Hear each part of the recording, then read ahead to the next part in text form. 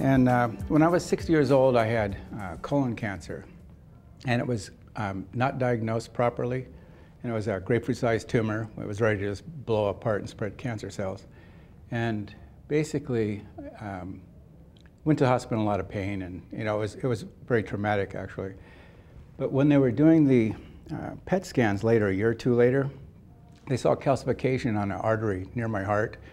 And at first they said it's sort of normal for a 60 year old. And my attitude was I wasn't a normal 60 year old. I was lifting weights, teaching karate, running, and all that stuff. And I didn't really want to have a really high calcification score. I didn't know what the score was yet.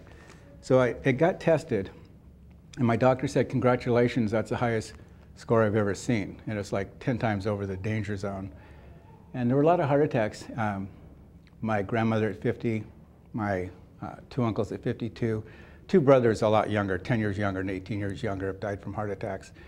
So when my wife saw that, she just took all the meat, cheese, and everything, just tossed it. She saw Clinton on television talking about the diet that he'd been on.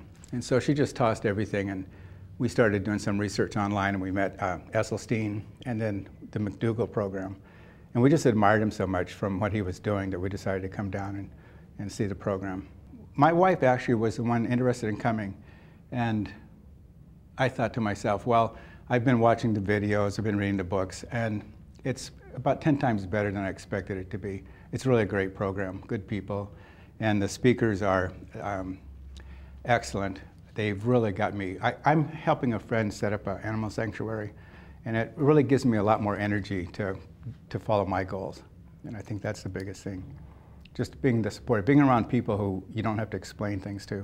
Coming in contact with the McDougall program was extremely supportive of what our goals were because you feel a little bit like uh, your friends don't understand it, your relatives don't understand it, and everybody does the, you know, you're not getting enough protein. And, and with having been a bodybuilder once and about 30 or 40 pounds heavier, the idea that you need a certain amount of protein seemed particularly important.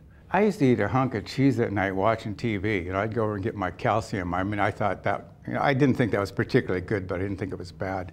Um, I ate probably twice as much protein as I needed.